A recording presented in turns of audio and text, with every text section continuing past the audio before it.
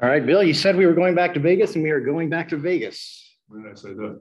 after a game three. Going, going back there no matter what. Um, So what's the point? Opening statement, please. Ah, okay. Obviously, a different outcome, uh, in this game compared to the last one. Uh, a large part of that is our, our effort. Uh, last game, we really just walked through things. It was, um, not pretty to watch on film. We showed them, uh, they understood that, you know, they didn't put forth the effort in the last game. And tonight they did. I thought one through 11, including Angel McCoughtry, were all into the game from start to finish. Um, that's who we are. Uh, and you know, we, we, we played a solid basketball game, no question about it. Energized, pushed the ball, all the above. Chelsea Gray made some good shots, more aggressive. A'ja starts to find her rhythm. I thought Liz played an outstanding game out there. The whole package that we did, I thought was um, who we are. It's how we play basketball. Uh, so, you know, we haven't won anything. It's 2 2, where we're supposed to be. Uh, and so now we, we play the whole regular season to play at home. And, you know, they had their chance tonight. We're going to get a chance to win the series on Friday night. So let's go throw the ball up and see what happens. Fast turnaround for both teams and travel. Uh, that short-term fatigue is going to be a part of this situation. So hopefully our depth will uh, will shine forth for us. All right, I'm not sure if this mic works so that everybody on the Zoom can hear if I call on you. If you wouldn't mind, say, feel safe pulling your mask down just so everybody can hear.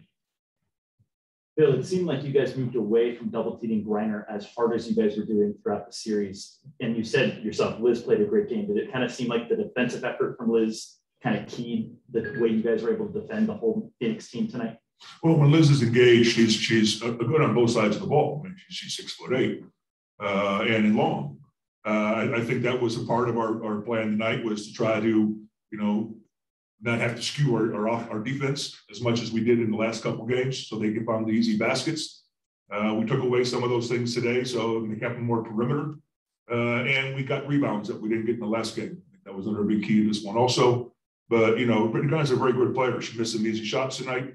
Uh, we're not, you can't stop her. You just got to limit, you know, her effectiveness as much as possible. Uh, and we're fortunate tonight that that happened. And obviously, you've been talking a lot about guard play in particular. They had a great game one, especially they struggled with particularly Williams, Plum, and Gray, your trio that you run a lot. For them to have the nights that they had, you've talked about how much guard play matters in the playoffs. Just how well, the guards, the guards win. If I said it all in the past, you know, they're the ones that ball in their hands a lot. You know, I told Chelsea Gray, we watched the film and I made it very clear to her that she wasn't aggressive enough offensively. She was settling and uh, passing the ball when she should have been attacking or looking for her own shot. Uh, tonight, she came out and was looking for her own shot. Uh, you know, Plum's going to be Plum. she's not going to stop, but you know, going and trying to score. Uh, and Williams, when she's hot, there's you know she scored 50 points in the game once. So when she's hot, you know, she's she gets on fire and it goes in streaks like that. And she, you know, got two or three buckets that extended the lead for us and, and helped put the game away. How much did that, that film session impact what these girls were doing? Was it was it quiet? What was what was the atmosphere like in, in that film session? Uh, somber in the film session that we had after the last game. I, I was very, um, uh, most of your assistants run the run the film. I ran the film. I stopped everything. Said, "What the hell are you doing? What is that? And what is that? Why are we walking?" Uh, so everything about that film session was somber. They had, you know, they went, "Oh, one of these and oh, one of those." Um, they realized that they weren't putting forth the effort. It was very clear on the film. And tonight they came to make amends, and we got the job done. And then did everything click on the 24-0 run in the third? Did any what? Did everything click for you guys on that 24-0 run in the third? That's what it was, the 24-0 run? Yeah. Wow, I didn't know that. Um, yeah, they they they did they missed some shots. Uh, we pushed the ball to get easy baskets. We got some steals for layups, uh, and they kind of put their head down a little bit at that point. Uh, it happens in the course of a game. Uh, they did it to us. So, you know, it's just it, it, ebb and flow. It's just a matter of how do you stop the runs. And uh, tonight we were able to keep the run going. Uh, how, how big of a help is it when Williams can? How big of a help is it when Williams can provide that start off the bench as well as Williams is a starter.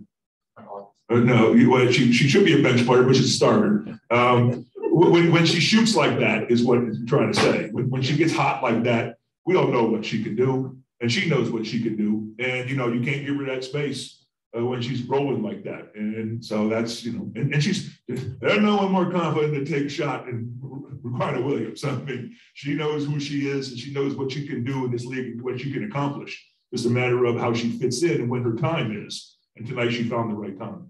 Thank you for the question. You were talking about Gray being a lot more aggressive. It seemed like Wilson was as well. He's- Well, yeah, they both had something to prove after the last couple games. Uh, Chelsea Gray, she's one out there with, with the ball in her hands to start the game. You know, and, and A'ja struggled a little bit in the last game and a half. Um, and, you know, she came very focused. She, she, she led yesterday's practice, which is, she didn't really do that. She got out in front and said, okay, I'm taking charge of this practice right now and led the stretching. It was great to see. So she knew that she had to step up today also. Uh, she's still going to go get her rebound. She's a machine. She's going to get 20 and 10. I don't know what she had rebounds tonight, but 12. 12. 12. Okay. And some block shots. So she was active. I mean, when she's active like that, she's forced. All right, going to the Zooms, Fago. Hey, how you doing, Coach? What did you like about the aggressiveness of Kelsey Plum in that second unit in the second half? Second unit aggressiveness in the second half. Yeah, well, you know, like I said, Kelsey, Kelsey Plum is going to go look to score. She's going to push the ball to try to find ways for us to get easy transition baskets for our team and for herself, uh, which is good. That's her role coming up. They have great role players off the bench. They, they are selfish. And right now, she's being counted on to be selfish, go out there and to score because they're tired, our stars are getting tired. And we didn't play a really uh, outstanding game offensively. She played solid defense. Uh, and, you know, that, that's, that, and Stokes, you can't say enough about Stokes. Uh, she came in, she knows all the plays, she executes on time, she plays solid defense, she gets rebounds. Uh, that's why we got her, was that, that veteran player that I, I drafted her. I know what she can do. And uh, she's been a big part of our success down the stretch. Danny? Coach Danny Thompson with the three point conversion, great win. You mentioned rebounding in game four, in game three. You guys were out rebounded. I think it was 58 29. And tonight, you guys out rebounded Phoenix and kept them off the boards. What did you tell the team when it came to rebounding? And was this the type of response that you were expecting? Yeah, rebounding, basically. Yeah, rebounding, basically. Um, you, you, know, we are an outstanding rebounding team. You know, we're one of the top echelon rebounders in, in the league. Uh, not so much offensive wise, but defensive rebound percentage, which is a hallmark of a solid defensive team.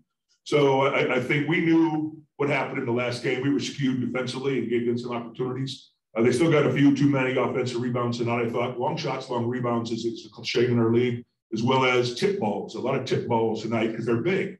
Griner's in there and takes up all that space. You get a lot of tip balls. So our guards in game three were leaking out. Today they stayed home. Thanks a lot, Coach. Just a heads up, everybody, the game is going to be Oh, Friday have at six question. o'clock, six PM. And Pinch it to we seven. will, Pinch it to seven. I'll, I'll do what I can. Uh, six PM, coming back with Sandy Brondello.